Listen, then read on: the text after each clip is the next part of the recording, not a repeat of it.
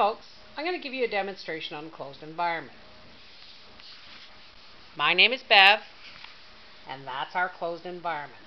It may seem simple, but sometimes simplicity is the best. This jar is our world. This is the earth, this is where we live, and the plant life, and this is our atmosphere. Now, I learned on Bill Nye the Science Guy quite a few years ago something that revolutionized how I thought about our environment. Plants create oxygen. Okay? If there's a forest fire, or back before man came and multiplied on the planet and messed everything up, plants would survive by producing oxygen they ate carbon dioxide, pollute, natural pollutants in the air, like from forest fires and whatnot, and they would give off oxygen. Okay, whatever they didn't use went up into the atmosphere. The sun shines. There we go. The sun is shining. The sun shines on the atmosphere and it creates moisture. It evaporates the moisture from the bottom and it comes up and it hits the atmosphere and it rains. Okay? That's pretty much the cycle. I'm going to try and turn this away a little bit.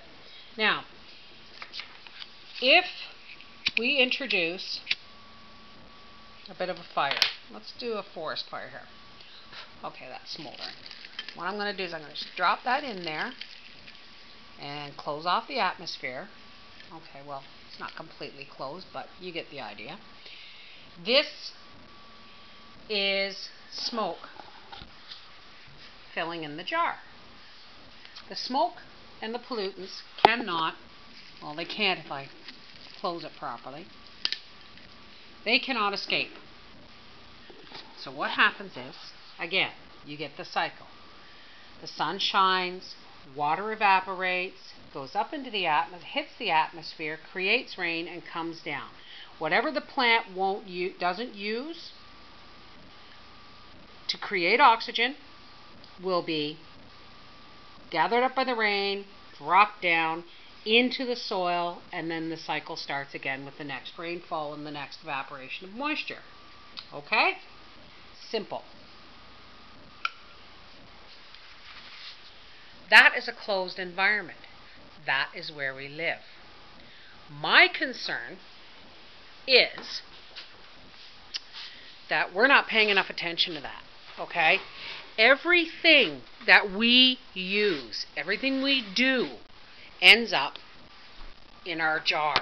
We live. We live in a jar.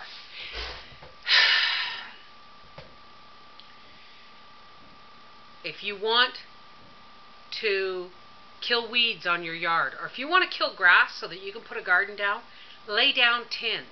Lay down landscape fabric and cover it with soil. That will kill the weeds or kill the, the grass and you can plant on it. Roundup or or any other kind of pesticide or, or not pesticide, excuse me.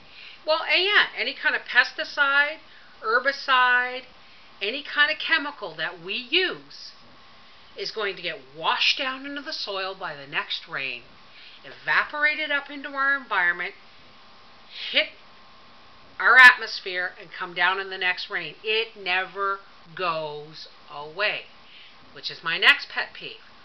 Plastic. Yes, we use plastic. Plastic, we can't just get rid of it, okay? We can recycle it. That's a good thing. Recycling your plastic is a good thing. What we don't want to do is to produce any more plastic, okay? My pet peeve is with soap companies right now all these sunlight, eco-friendly, biodegradable, uh, Tide saying, oh, we've cut it down to one third of the size. That means less bottles, less room in the, more room in the truck for more, so it takes less gas to transport. Blah blah blah. Yap yap yap. If you are truly eco-friendly, don't use plastic bottles. Use paper milk cartons. Milk does it. Plastics leach into our food. Yes, we can't get rid of it all. I stopped using plastic sandwich bags. I'm not asking everybody to throw everything out that's plastic or even to recycle everything that's plastic. If you can, great. If you can live without it, wonderful.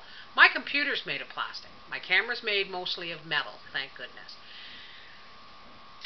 What you can do, though, is make one change. One change, okay?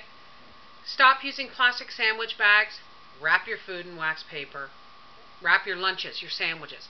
I stopped wrapping lunches in plastic sandwich bags and I stopped putting putting 1400 plastic sandwich bags into the landfill every year on average just by that one change. I use recycled grocery bags. Yes, they're made of recycled plastic.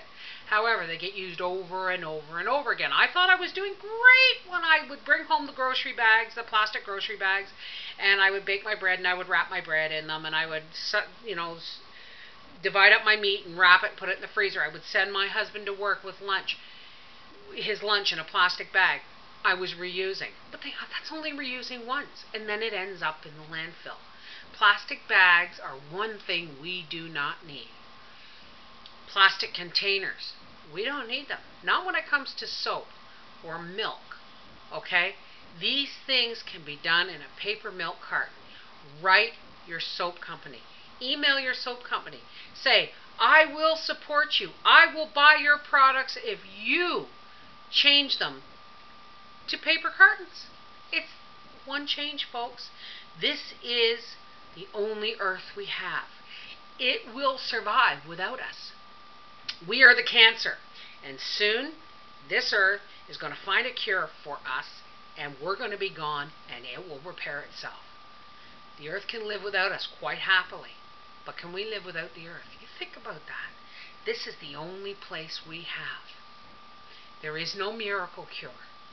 There is only one change. Think about it, folks. It's so important. We really, really need to do something. This is happening, and it's happening fast. It's not climate change. It's not global warming. It's global destabilization. And when the climate destabilizes, we're it's we're toast. We're toast. Think about it. One change. Visit my blog, my half acre homes, my half acre homestead.blogspot.com. Get some cool ideas. Thank you.